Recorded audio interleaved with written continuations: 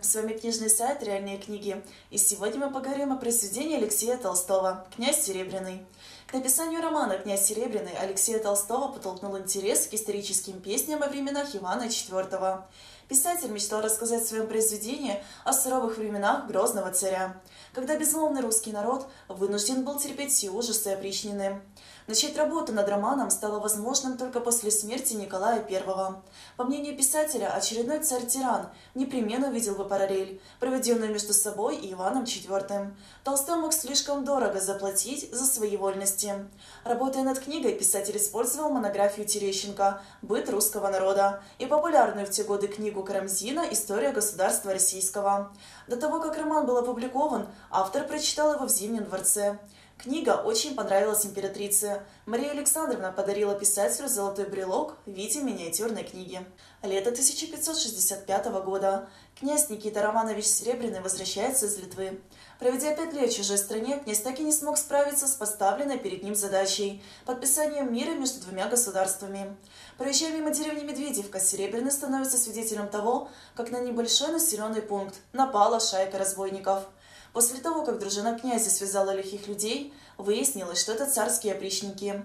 Серебряный не верит, что перед ним слуги царя, и отправляет их к губернскому старости в сопровождении своих воинов. Князь отправляется дальше. По дороге он остановился на постой колдуна.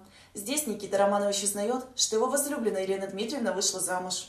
Когда девушка осиротела, ее некому было защитить от настойчивых домогательств князя Афанасия Вяземского. Елена Дмитриевна любила Серебряного и дала ему слово стать его женой. Однако Никита Романович слишком долго пробыл в Литве. Чтобы спастись от назойливого ухажера, Елена вышла замуж за боярина Морозова. Поскольку Вяземский пользовался расположением Ивана Грозного, Морозов становится опальным.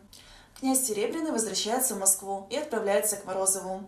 Боярин рассказывает князю о том, что царь переехал в Александровскую Слободу, а между тем царские слуги, опричники, чинят произвол в городе. Боярин уверен, что Серебряному не следует ехать к Ивану Грозному, но князь не желает прятаться от государя. Объяснившись Еленой, Никита Романович уезжает. Царь дает разрешение Вяземскому увести Елену. Узнав о том, что Серебряный расправился с опричниками Медведевки, Иван Грозный хочет казнить князя. Но за Никиту Романовича заступается Максим Скуратов. Впоследствии князь Серебряный оказывается впутанным в целую сеть придворных интриг. Ему неоднократно грозит гибель от вражеской руки или смертная казнь. Вяземскому все-таки удалось похитить Елену Дмитриевну. Морозов обращается к царю в надежде, что тот восстановит справедливость. В результате и боярин, и князь оказываются в опале. Иван Грозный приказал казнить обоих. Елена уходит в монастырь, отказавшись связать свою судьбу с Никитой Романовичем. Серебряный просит царя назначить его на службу. Много лет спустя Иван Грозный узнает, что отважный князь погиб, исполняя свой долг перед Отечеством. Молодой князь является воплощением мужества и чести. Никита Романович ставит интересы своей родины превыше собственных. Из-за открытости и честности у Серебряного появляется много врагов, самым опасных из которых является царь.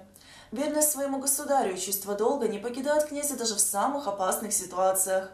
Несмотря на то, что Никита Романович видит явную несправедливость Ивана Грозного по отношению к некоторым подданным, он покорно подчиняется всем приказам своего господина, готов понести наказание, которого не заслужил, и не пытается бежать из тюрьмы при появлении такой возможности.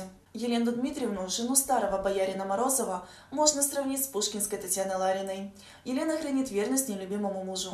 Она отказывается от своего счастья даже после смерти Морозова, считая, что между ней и Никитой Романовичем кровь ее супруга, а значит, семейного благополучия не будет. Елена винит себя в том, что так и не смогла полюбить человека, за которым была замужем. По мнению боярыни Морозовой, только полный отказ от женского счастья может искупить ее вину. Афанасий Иванович Вяземский смог добиться в жизни многого. Стать главой опричников и получить расположение Ивана Грозного. Только в личной жизни князя не ждал успех. Елена Дмитриевна – единственная женщина, на которой он хотел бы жениться. Но возлюбленная настолько его ненавидела, что предпочла выйти замуж за старого боярина, лишь бы не достаться Вяземскому. Однако князь отказывается принимать поражение. Он отправляется к колдуну, чтобы получить у него приворотное средство. Ненависть Елены не останавливает Афанасия Ивановича, и он решается на похищение. Так и не добившись взаимности от любимой, утратив расположение царя, Вяземский бесславно погибает. Что же касается Ивана IV, то он стал одной из самых неоднозначных фигур не только в романе, но и в русской истории. В царе-тиране сочеталась чудовищная жестокость и безграничная набожность. Завоевать расположение царя так же просто, как и ненависть. Будучи крайне подозрительным, тиран видит врагов на каждом шагу. Историки отмечают странную любовь грозного царя к раскаянию. В детстве маленький Иван зверски убивал животных, а затем шел в церковь и искренне раскаялся.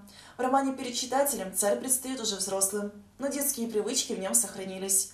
Вокруг резиденции царя стоят всевозможные орудия казни. При этом Ивану Грозному мерещится образы убитых по его приказу людей. Царя мучает совесть. Несмотря на все свои недостатки, царь-тиран испытывает уважение к Никите Романовичу. Князь Серебряный не боится говорить то, что думает, оставаясь покорным. Иван Грозный уничтожает даже некогда любимого им Вяземского, но неоднократно прощает Серебряного.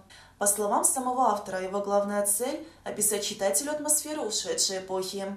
В задачи Толстого не входит создание исторического очерка с достоверными подробностями. Автор рассматривает только характеры людей и человеческие отношения, которые мало изменились со времен Ивана Грозного. В романе не отмечено желание Толстого очернить сурового царя. Наоборот, не царь, а подданный, достойный порицания. От имени Ивана Грозного было совершено множество преступлений, о которых царь даже не догадывался.